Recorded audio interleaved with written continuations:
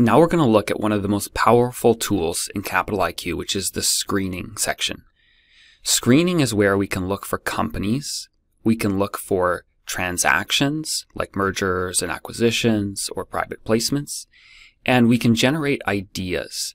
So if we work in investment banking, investment management, private equity, or at a corporation, so we're talking about almost the full suite of financial careers that CFI trains to you can generate ideas for all these types of jobs in here. So we're going to spend quite a bit of time here in the screening tool. Let's click into screening right now. And we could start somewhere like company screening. And this is where we're going to set criteria. So imagine that we're looking for a company in a particular industry and we don't know the company's name or its competitors. This is why we're using the screening tool. We're trying to find these companies. Now, one way to do this would be to search for based on the company's business description. So we can go to business descriptions and you can search for keywords in the business description. So let's say we want to search for businesses that are in cloud computing.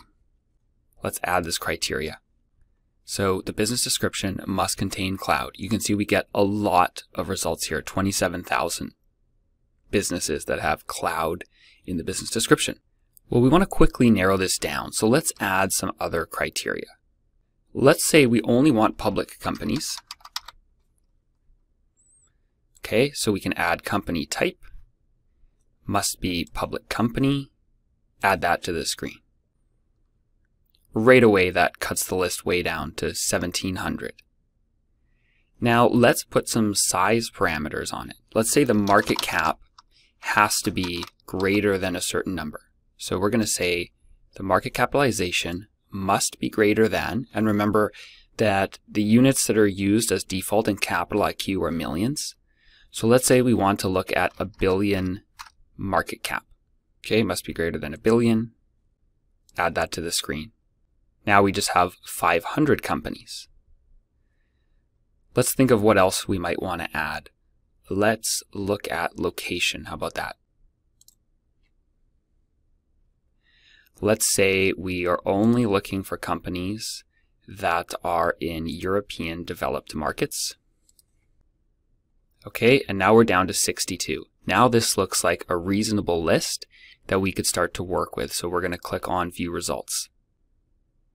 So now what we get is this list with a default set of columns that display information. And in the next lesson, we're going to look at customizing these. But for now, we've got our list of 62 companies in cloud computing that are public, that are based in European developed markets with a market cap that's greater than a billion dollars.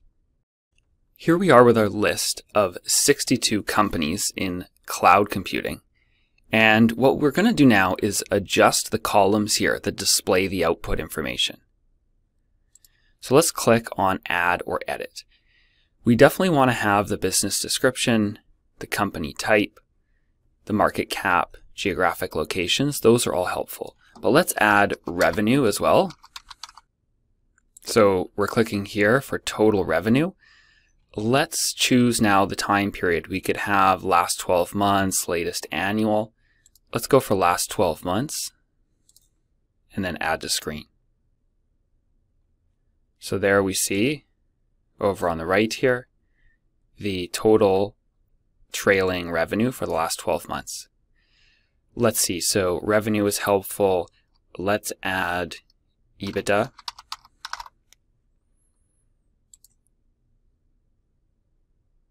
Last 12 months. And then let's also add net income.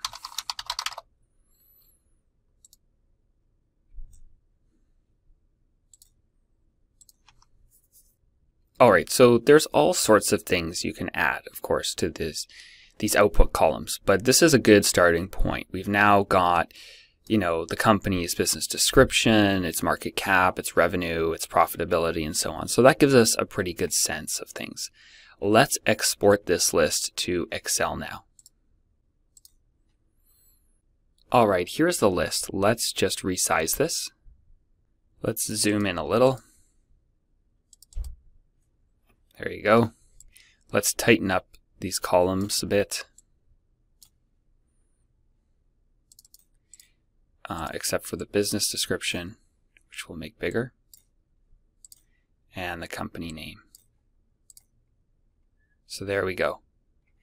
We've got here our list of companies, their tickers, business descriptions, and then we've got here their financial information. So we could go through and sort this list, or we could look through it manually. It's a manageable size with 62 companies. So say we were looking for companies to invest in or to acquire, we might want to read the business description if we're looking for something specific in cloud computing. And we may want to add a revenue requirement as well, a minimum or a maximum or something like that. And then we're starting to build a pretty interesting list for our specific cloud computing search.